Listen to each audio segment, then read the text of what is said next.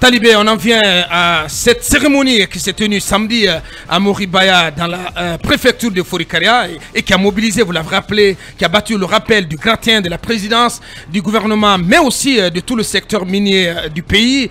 C'était donc samedi, c'était donc la cérémonie de relance hein, de la construction des infrastructures ferroviaires et portuaires pour le grand projet Simandou. À l'occasion, ce qui a retenu l'attention, ce qui a frappé, c'est cette phrase lancée par le colonel Mamadi Doumbouya qui a euh, lancé en ces termes si Simandou n'est pas fait conformément au contrat, je le reprendrai à asséner le colonel Mamadi Doumbouya. Oui, euh, c'est une euh, déclaration. Une mise en garde très sérieuse. Oui, une mise en garde sérieuse au regard justement de toutes les péripéties que le Simandou a connues depuis Comté jusqu'à jusque maintenant. Parce que l'une des dernières péripéties, c'est quand le, le, président a demandé euh, en tout cas, l'État a demandé qu'on arrête net les travaux qui étaient en cours.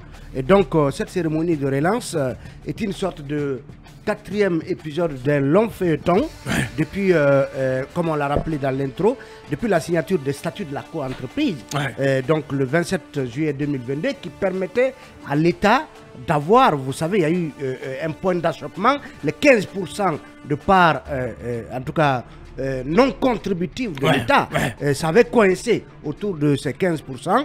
Et c'était euh, finalement à prendre ou à laisser. En tout cas, la gente a réussi à obtenir ça des deux sociétés. C'est-à-dire. Véritable tour de force. Oui, Winning Consortium et, Rio Tinto. Donc, a suivi par la suite l'entrée de, de Baou, qui est considéré comme le géant euh, de, les géants chinois de l'acier, de, l'acier, donc qui est considéré comme étant l'acheteur donc euh, du minerai euh, lorsque le minerai sera, sera extrait. Et, ça, c'était déjà une avancée importante et c'était le 22 décembre dernier. Et un troisième épisode, c'est celui lié à, à, la signature du pacte d'actionnaires intervenu le 8 mars 2023. Donc, trois épisodes de ce feuilleton. Et le quatrième, c'est bien évidemment euh, la relance, des, travaux. des travaux de construction des infrastructures euh, ferroviaires et portières.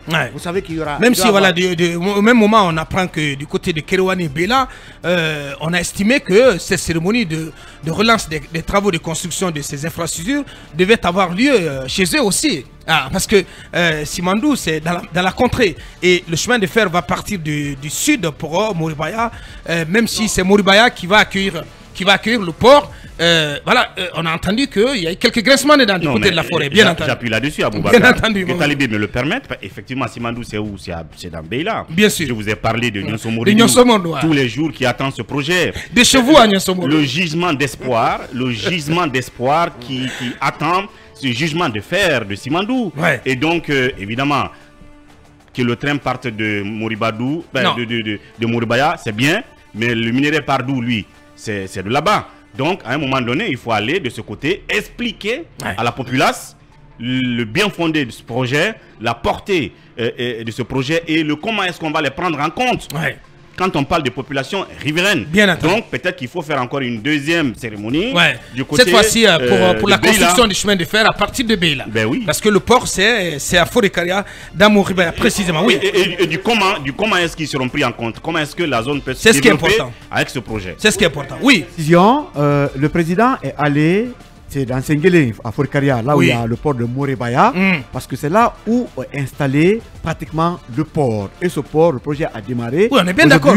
Et les activités sont allées, en tout cas, de façon la plus avancée, en tout cas, du projet.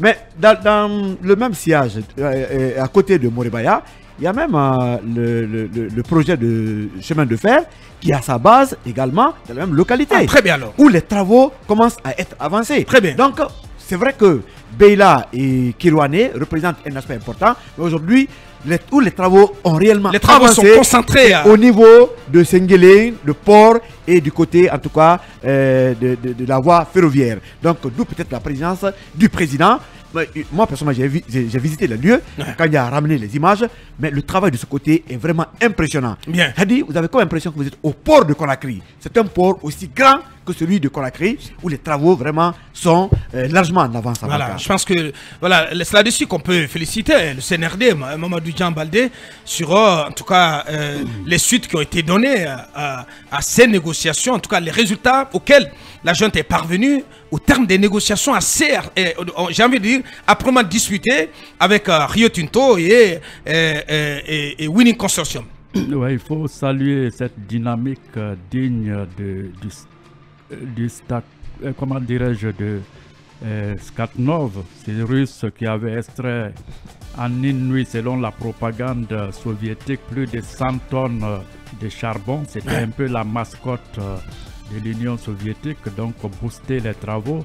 Et le CNRD est parvenu parce que bien que M. Alpha Condé était un peu dans la même dynamique, mais avec euh, le colonel, et c'est le coup de collier, tout commence à avancer.